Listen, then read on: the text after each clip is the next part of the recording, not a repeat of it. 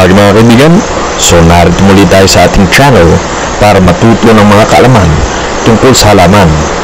Ang topic natin pag-aaralan sa umaga nito mga kaibigan ay tungkol sa pitong unique at rare plants dito sa Pilipinas na makapagbibigay ng buhay at kulay sa iyong tahanan. Habang ang pag-alaga ng halaman ay nagiging mas sikat at marami ang nagiging interesado sa paghalaman, patuloy na naghanap ang mga tao ng rare at unique na panloob na halaman upang idagdag sa kanilang koleksyon. Ang paghahanap ng rare at unique houseplant ay isa na ngayon sa kinakukumalingan ng mga plantito at plantita. Kaibigan, kailan ka huling bumisita sa isang lokal na tindahan ng mga halaman? E di kayo nagtanong sa isang tao kung ano ba ang mga halamang magandang ilagay sa iyong bahay. Hulaan ko kaibigan, malamang na ang sinagot sa iyo ng tindera ng halaman o sino mang pinagtanungan mo ay ang snake plants, rubber plants, uh, spider, potos, peace lily o welcome plant. Lahat ng mga iyan kaibigan ay kamanghamang halaman. Ngunit kung ikaw ay naghanap ng rare at unique plant para sa iyong tahanan, hindi mo basta-basta matatagpuan yan sa mga bintanang halaman. Ang kinakailangan mo ay mag-research ng mga rare at unique plants na babagay sa iyong tahanan. Kaya nga sa video ito mga kaibigan, ay pag-uusapan natin ang pitong unique at rare plants dito sa Pilipinas. Pero bago tayo magsimula mga kaibigan, kung bago ka lang sa aking channel at gusto mo parang ganito mga kaalaman tungkol sa halaman, hihingi sana ako sa inyo ng subscribe bilang suporta sa ating channel. Balik tayo sa ating topic mga kaibigan tungkol sa pitong unique at rare plants dito sa Pilipinas. Narito ang mga yan mga kaibigan. Bambino, Black Prince, Rubber Tree, Caladium, Humboldti, Titonia, Monstera Deliciosa, at Peperomia, Putolea Lata, at Philodendron Berkini. Narito sila. Ang una ay ang bambino kaibigan. Ang fiddle pig ay isa sa pinakasikat na halaman na ginagamit na pandekorasyon. Mayroon silang malaki at makikintab na mga berdeng dahon na nagbibigay ng masiglang tropical na atmosphere sa iyong tanan. Ngunit alam mo ba kaibigan na ang halaman na ito ay may rare at dwarf variety? Kaibigan, ito ay tinatawag na bambino. Sa anim na pulgadang taas ng halaman ito kaibigan, ang, ang bambino ay isang adorable little brother ng piddly pig. Kilala rin ito bilang Picus lairata, bambino. Mayroon silang lahat ng great features na mayroon ng isang regular na piddly pig. Ngunit ito ay isang maliit na compact na anyo. Ang kanilang mga dahon ay medyo mas maliit na tumutulong sa kanila na magkasya sa anumang espasyo at sa anumang parte ng iyong tahanan. Ang mga rare na houseplants na ito ay magandang tignan sa malalaking mga baskets at ilagay sa mga estante o sa mga mesa o sa mga windowsill. Tutubo sila ng maganda sa mga lugar na malapit sa mga good source of light at kailangan lamang silang diligan kapag tuyo na ang lupang pinagtinaman mo sa kanila. Ang ikalawang halaman sa ating listang kaibigan ay ang Black Prince, Rubber Tree. Ang Black Prince, nakilala rin bilang burgundy, ay isang rubber plant na kilala sa kapansin-pansin nitong purplish black na mga dahon at pagiging matibay, low maintenance at madaling palakihin ang halamang na ito. Ang mga ito ay dating sikat na houseplants. Tatlong, tatlong taon na ang nakalilipas. Ngunit wala ang kasikatan ng mga ito nang magsimulang manirahan ang mga tao sa mas maliit na mga bahay at apartment. Bilang resulta, mas mahirap na silang hanapin ngayon kaibigan. Gayunpaman, ang Black Prince rubber tree ay naging tanyan na houseplants muli sa mga nakalipas na limang taon na bumabalik ito sa pagiging isang kilalang houseplant. Gustong gustong muli ito ng mga tao. Madali kasi itong alagaan.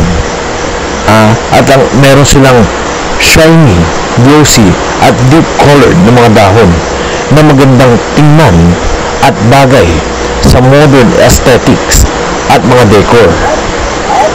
Ikatlo sa ating listang kaibigan ay ang Caladium Humboldti. Ang Caladium Humboldti kaibigan ay isa sa ilang mga uri ng Caladium variety na inaalagaan bilang isang house plant.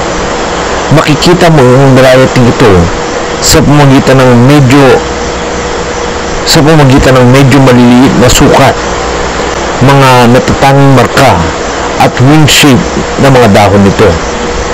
Ang halaman na ito ay isang rare decorative foliage plant na tinatawag na mini white dahil sa kanyang dark green na mga dahon na may batik-batik na may maliwanag na puting guhit.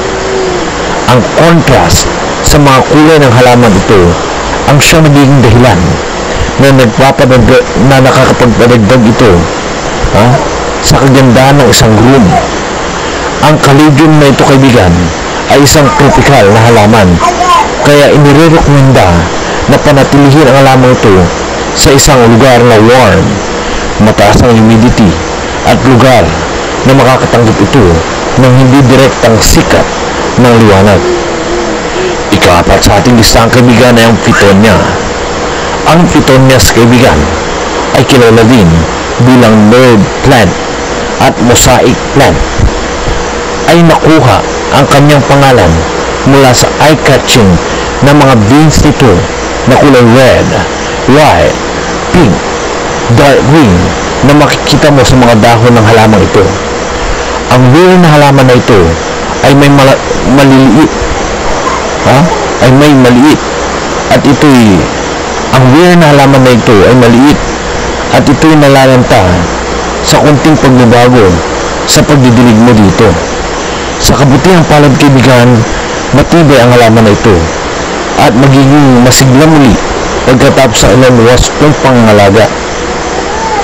Mayroong green at red petunias kaibigan na parehong may bright at matitingkad na kulay na nakapagbibigay na kagandahan sa isang silid kung saan mo sila ilalagay.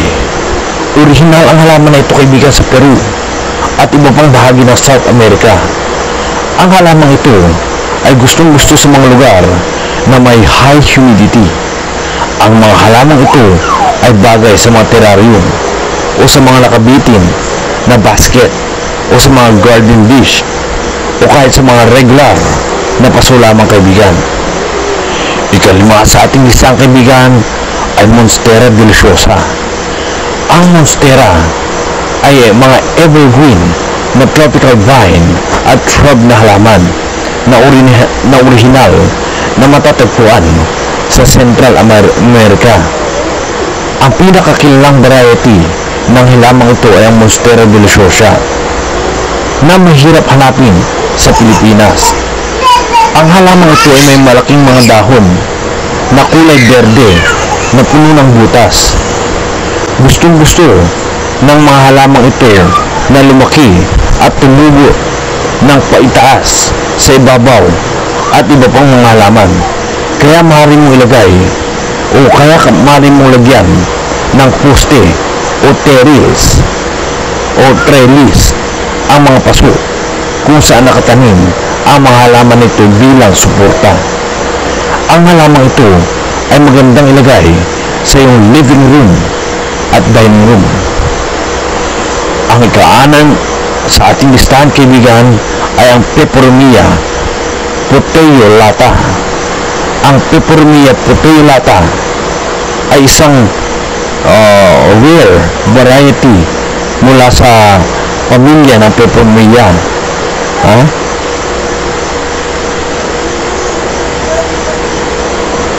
Ito rin ay tinatawag na parallel peperomia. Ang tropical na halaman na ito ay madaling alagaan kahit nasa mga baguhan na nag-aalaga ng halaman. Gusto ng halaman na ito ng maraming liwanag, maraming init at mataas na humidity. Kung, ti kung titignan mo kaibigan, ang mga ito ay medyo katulad ng isang watermelon peperomia sa mga pattern ng mga dahon nito. Ang mga ito ay may reddish purple stems at maliit na oval shape na mga dahon na tumutubong pabilog. Ang mga dahon nito ay may dark green, yellowish green at white veins. Bukod sa kanilang mga dahon kiligan, maaari silang mamulaklak ng puting mga bulaklak kapag sila ay nasa tamang kondisyon. Ikapito sa ating isang kaibigan ay ang Philodendron birkin. Ang Philodendron birkins ay bago at trending na variety na bihira mong makita dito sa Pilipinas. Ito ay isang mabagal na lumagong houseplant na nagtataglay ng malalaking hugis oval at dark green na mga dahon na may creamy white pinstripes at ang bawat pattern sa bawat dahon nito ay unique. Gamit ang warehouse plant na ito kaibigan, masisiyang ka sa pabagong-bagong display sa iyong tahanan habang lumalaki ang halamang ito sa iyong pangalaga. Ang Philodendron Birkins ay isang mahusay na addition sa iyong decoration para sa iyong mesa, sa iyong estante, at sa iyong coffee table kapag sila ay bata pa. Bagamat maghihintay ka ng medyo mahabang panahon, maaari itong lumaki ng hanggang tatlo talampakan ang taas at tatlong talampakan ang labat. Kaya maaari mo itong ilipat bilang isang corner plant sa iyong tahanan. Mabubuhay ito ng masigla sa masamasang lupa, hindi direktang sikat ng araw at katamtamang humidity. So ito lamang mga kaibigan ang ating pinag-aralan tungkol sa pitong mga rare at unique na halaman na pwede mong ilagay sa iyong tahanan.